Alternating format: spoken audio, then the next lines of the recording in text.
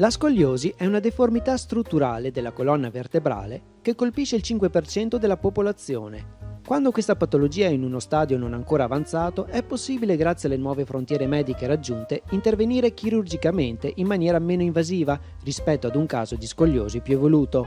Uno dei principali centri internazionali che sfruttano questa conoscenza medica è l'unità di ortopedia e chirurgia vertebrale dell'azienda ospedaliera universitaria di Verona, diretta dal dottor Massimo Balsano.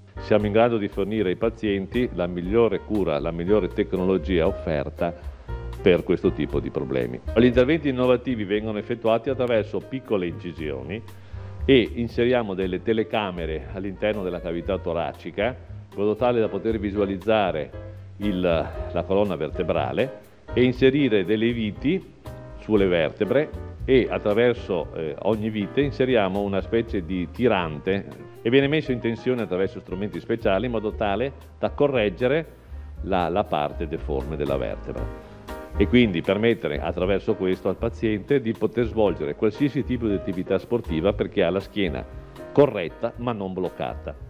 Questa nuova tecnica di intervento va quindi a correggere la situazione prima che si aggravi. Quando poi le scoliosi peggiorano, dobbiamo intervenire con interventi molto più aggressivi e quindi con, con eh, incisioni più larghe, più lunghe e con l'inserimento di mezzi di sintesi più potenti. Noi curiamo anche questo tipo di, di, di, di problemi, ma chiaramente spingiamo per evitare di arrivare a questo tipo di problemi.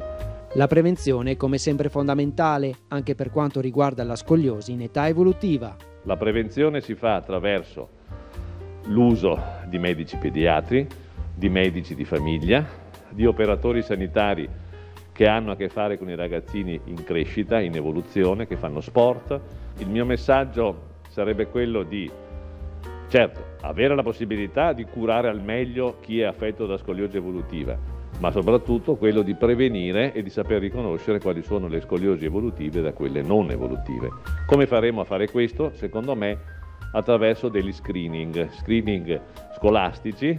Spero presto di poter presentare un progetto di questo tipo al provvitorato in modo tale che il provvitorato, i distretti scolastici, insieme appunto al progetto dell'azienda sanitaria universitaria ospedaliera di Verona, possano completare secondo me questo importante passaggio molto utile ai ragazzi.